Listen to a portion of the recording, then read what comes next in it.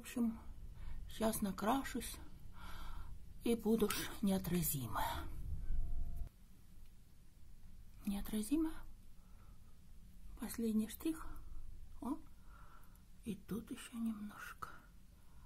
Вот так. Губы я не крашу. Сейчас покажу результат. Ну вот показываю вам результат. Смотрите, друзья. И что? Вы знаете, у меня такое впечатление, что мало что изменилось. Если учесть, что я столько... Я же сделала укладку феном. Я же все тут себе лицо массировала. Накрасила глаза. Ну и что? Ну что? Ну вот я такая, как, как я была не накрашенная, я такая же и накрашенная. Понимаете, я же понимаю, красоту ничем не испортишь, но если не видно результата, то как-то мне и краситься-то не хочется, я не знаю. Ну, наверное, просто по привычке. Еще, знаете, такая интересная была история, когда я приехала в Россию. Я же здесь привыкла, что здесь-то женщины же не красятся, англичанки. Они себя прекрасно и так чувствуют.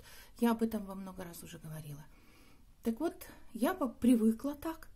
Я хожу в свободной обуви, в такой одежде, которая мне удобна. Абсолютно я не, не расстраиваюсь по поводу своей внешности. Ну вот, может быть, только э, с Мартином так, знаете, опять прут комплексы, потому что ну, как-то хочется нравиться человеку. А так остальное это мне как-то наплевать. И я так привыкла, потому что женщины здесь так себя ведут, понимаете? Они в себе уверены всегда. Им не надо для этого красить глаза и одевать каблуки.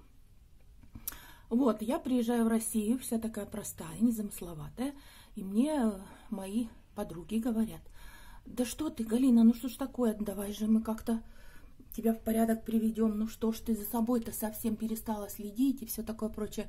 Ну и вот я там себе сделала милирование, видите, подстриглась, сделала себе красивый гелевый маникюр, сделала себе все, что могла. Даже хотела сделать себе тату бровей, вы знаете, тату бровей.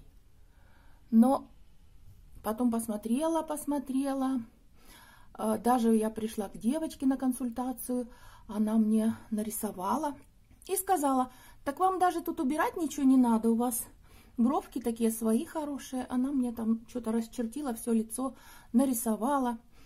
Э, я говорю, мне темные брови не подходят, ну я светлая сама, мне не надо темные. Но она говорит, да-да-да, это все мы потом скорректируем. Но говорит, что тату, во-первых, больно, во-вторых, это будет только первое. Потом мы должны подождать месяц, когда у вас корочки сойдут все эти болевые. И потом через месяц мы уже делаем тату полностью. И представляете, я что-то подумала, думаю, боже, корочки болевые, это же все, значит, здесь у меня воспалится, все покраснеет, зачем же мне это надо?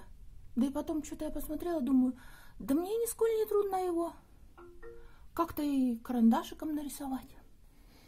Так что вот так, друзья, я все-таки привела себя в порядок.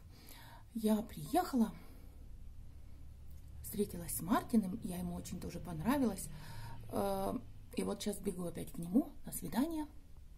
А я еду к нему, он сегодня выходной, а сегодня у нас суббота. И 7 декабря, да, вот мы с ним опять едем куда-то он меня хочет отвезти. Ой, вы знаете, тоже интересно. Ну, в общем, потом расскажу, друзья, когда приеду, вернусь, вам все расскажу. А сейчас пока-пока, я бегу. Всего-всего вам доброго. Удачи, счастья и любви.